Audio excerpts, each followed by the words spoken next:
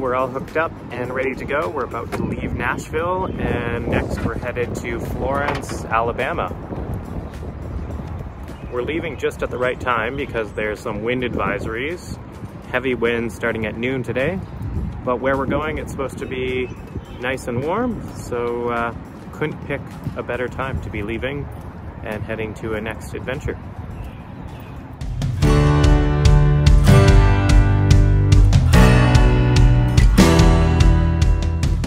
Matt and Dave, and together, with our dogs Belle and Hudson, we're exploring the world in our Escape travel trailer. In the winter of 2023, we traveled from Ontario to Texas to pick up a 17 foot casita trailer and spent over a month on the road. We liked it so much that by the fall of 2023, we upgraded to a 19 foot escape trailer so that I had space to work from the road. We haven't looked back since. Come see where we go next.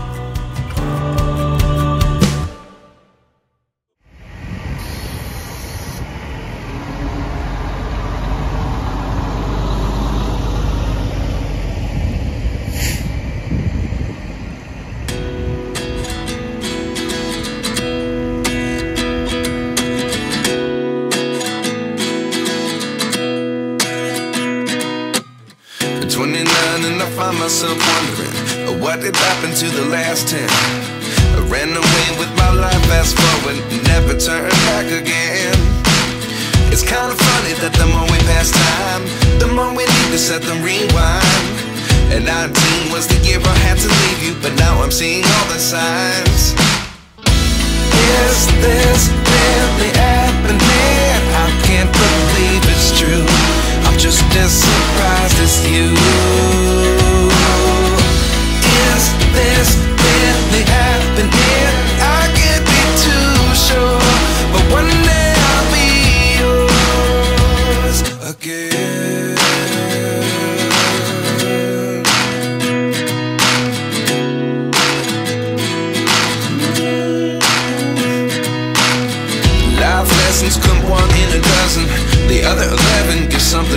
Nothing. I sit here looking for an answer. Maybe the biggest question was in the last chapter.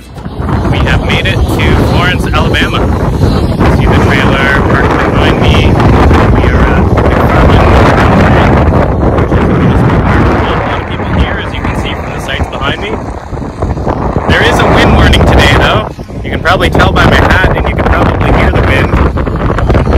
We're hoping it doesn't get too bad. They're calling for potentially 40 mile an hour winds.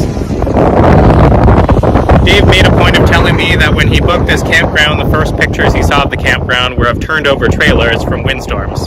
So hopefully that doesn't happen with us. Anyway, so far we're liking the park and it is nice and warm out today, although not terribly sunny at the moment. Here's our trailer set up at this park. We were allowed to pick any lot we wanted to, so we just drove around. And this seemed to be a good one, mostly because of the views that we get of the water and the cliffs. But it's nice, these are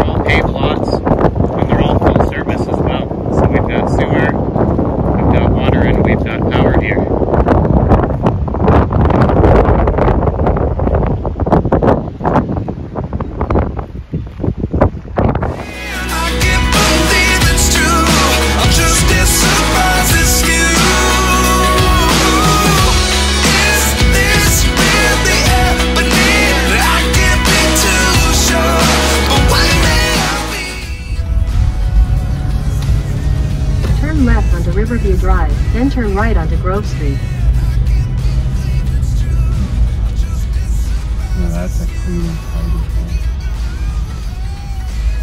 Just in that bit. Did you look at that? Oh my god.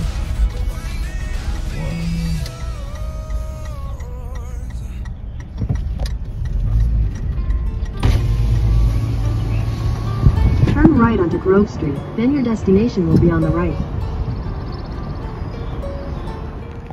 All right, Dave, so where are we and what are we going to see? Well, we're in Florence, Alabama at the uh, Frank Lloyd Wright House. It's uh, Rosenbaum, it's called. And I've always liked his architecture.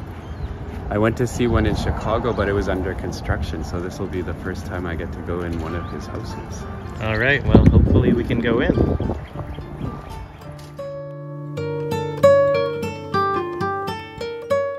I was just describing to these folks about uh, Mr. Wright and his uh, declaration that he was a, uh, an architect of the middle class and that these houses were his final attempt to create what he described as affordable housing. But affordable housing with architectural design and input. Now, when these houses were, when the concept of the Usonian house was originally devised by Mr. Wright during the Great Depression, it was really something much, much more than what we have here. Wright envisioned large planned communities.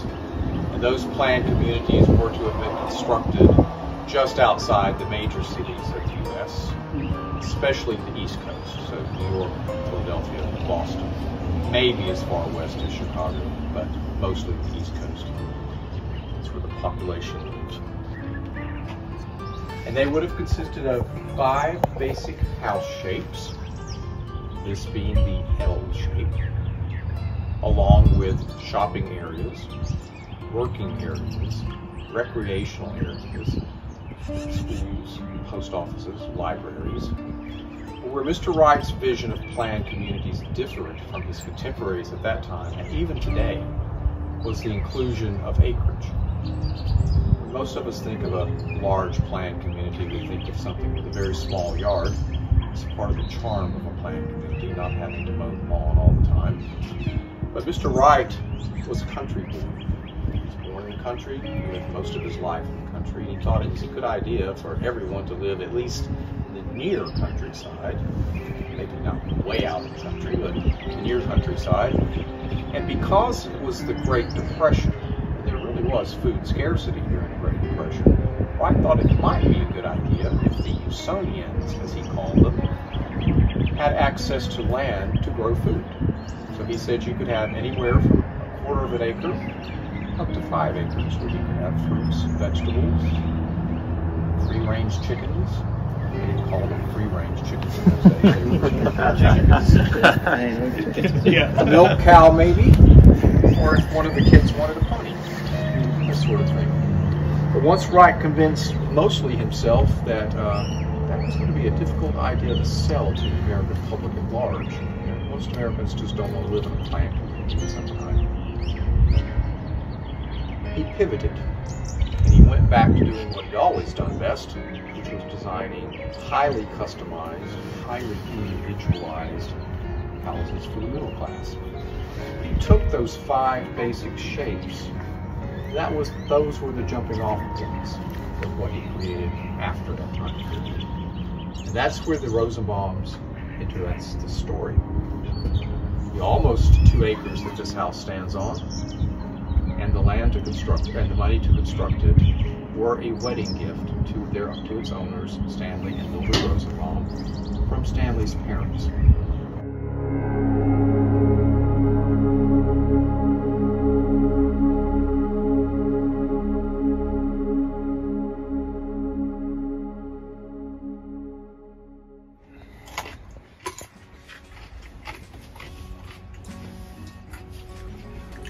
View of the back window of the trailer.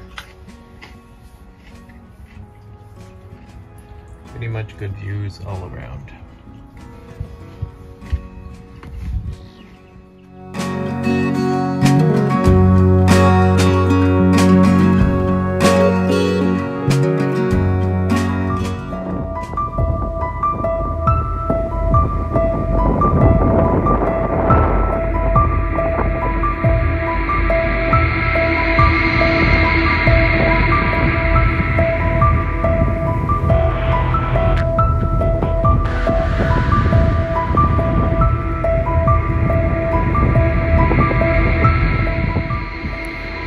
So, an update from yesterday the severe winds that we were a little worried about did come overnight, although we're not really super close to any trees.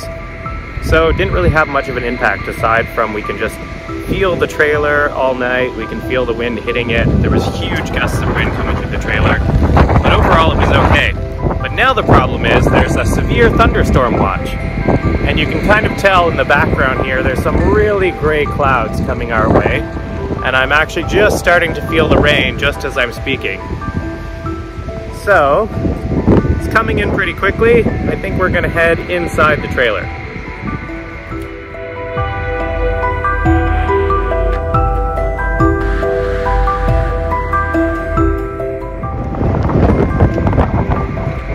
How quickly the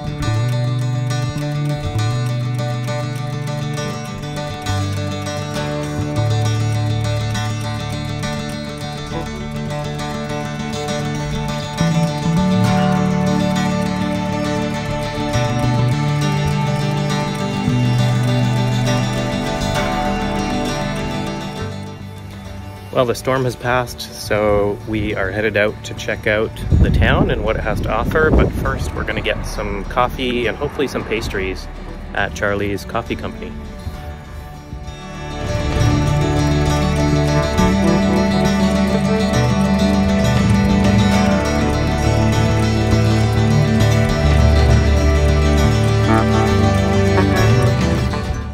Oh, this is what we needed on a day like today.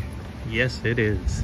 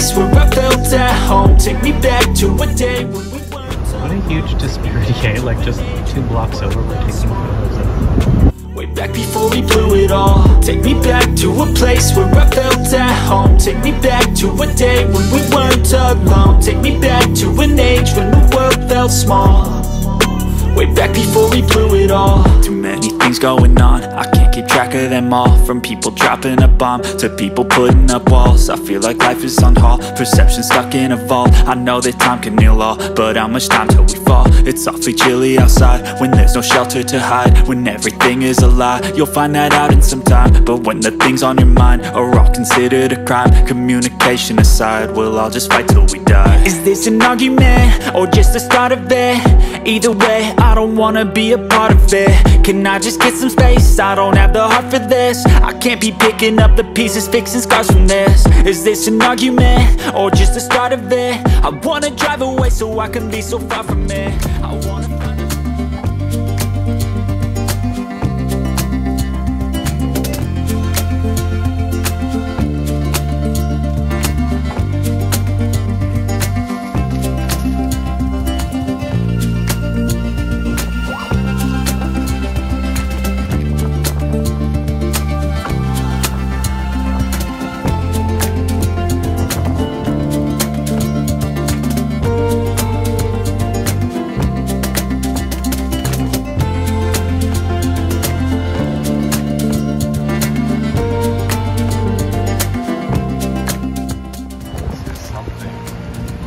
I see our trailer from here. You actually see it? Yeah.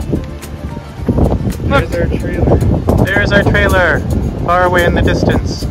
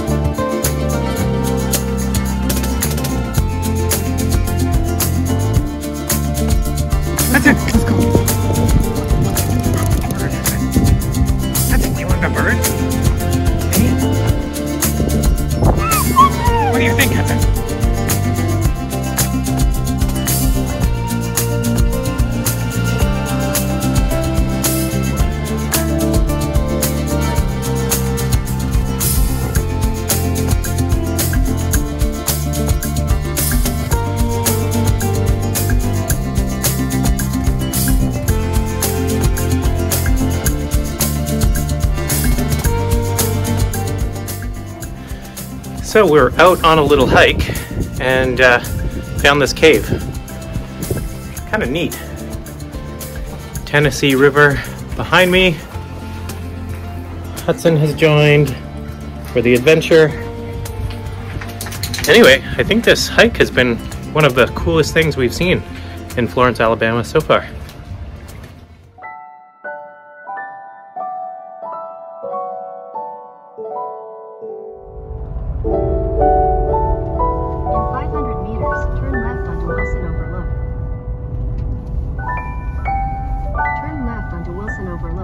Turn left.